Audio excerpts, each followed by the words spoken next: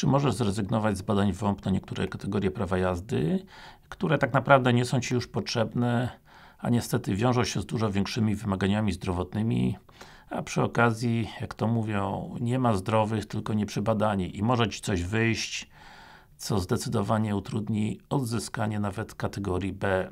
Witam serdecznie Panie Doktorze, sprawa dotyczy mojego teścia, yy, któremu odebrano prawo jazdy za prowadzenie pojazdu w stanie nietrzeźwości i które to prawko miał na niemal wszystkie kategorie. Udał się po zakończonej rozprawie zgodnie z zaleceniami do Urzędu Miasta, potem do WOMP-u, lecz jak sam Pan wie, badania te raczej są dla ludzi młodych, a on jest 66-latkiem, który jest już nieco mniej sprawny, do tego ma problem ze słuchem, z poziomem cukru i z lekką nadwagą, plus oczywiście przestraszenie przez kolegów przed tymi badaniami. No ja też tutaj dostaję czasami takie hejty, że straszę na prawo i lewo, ale ktoś jak już prawko straci i odzyska po moich poradach, to troszeczkę inaczej na to patrzy. Y, zrobił w aspekcie psychologicznym swoje, czyli przeszedł psychotesty kierowców, ale prywatnie i w grudniu czeka go drugi etap, właśnie ten WOMP, badania lekarskie, którego się obawia. I otóż w czym rzecz?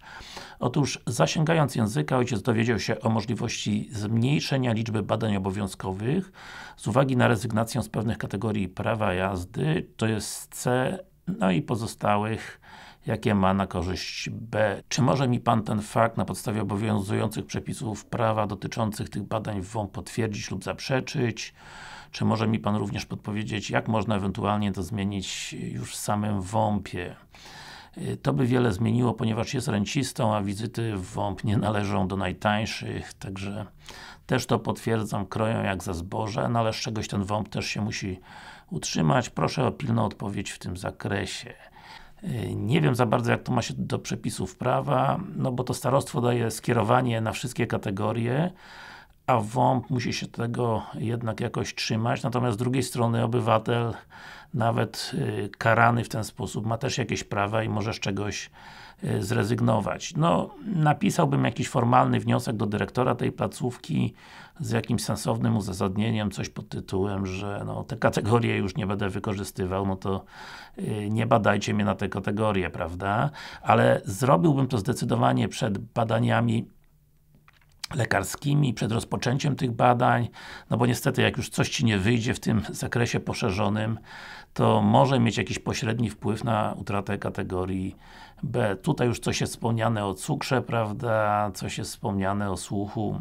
Słuch tu może nie być przeszkodą, ale cukier podwyższony na pewno. Jeżeli zawodowo nie będziesz jeździł, to nie mam tutaj się co unosić honorem, że ja mam wszystkie prawka i chcę je odzyskać, tylko po prostu spojrzeć realnie, spojrzeć pragmatycznie, brać co dają, co jest w zasięgu ręki i po prostu korzystać z tej kategorii B jeżeli oczywiście oddadzą. No, zdarza się czasem, że jak już przejdziesz pełny zakres, to lekarz jakoś tak inaczej patrzy, że zabiera ci, zabiera ci te kategorie zawodowe, zostawia B, sam zostawia to B, no ale po co się stresować na zapas, jak można studnie wykopać, zanim się chałupa spali. Także na tym kończę. Yy, taka utrata niektórych kategorii prawa jazdy jest dość częsta, ale mówię, nie ma się co stresować, napisz formalny wniosek, yy, wymagania na B są na pewno mniejsze niż na CD, czy tam jakiekolwiek inne. Yy, mówił Darek Kraśnicki z Wrocławia, lekarz specjalista medycyny transportu. Jeżeli to wideo coś Ci pomogło, daj lajka, daj kciuka, podziel się tą informacją z osobą, E, o której uważasz, że może to jej się w jakimś tam stopniu przydać, która być może podchodzi do, te, do tych badań WOM, która być może no, popełniła ten błąd, wyciągnęła nauczkę, przy okazji troszeczkę zadba o swój y, stan zdrowia. Także daj lajka, daj kciuka, podziel się na portalu społecznościowym i oczywiście, jeżeli chcesz więcej takiej informacji, to zasubskrybuj mój kanał YouTube, tutaj gdzieś, gdzieś są linki do subskrypcji i w ten sposób raz na tydzień albo i częściej dostaniesz jakieś jako pierwszy podobne wideo.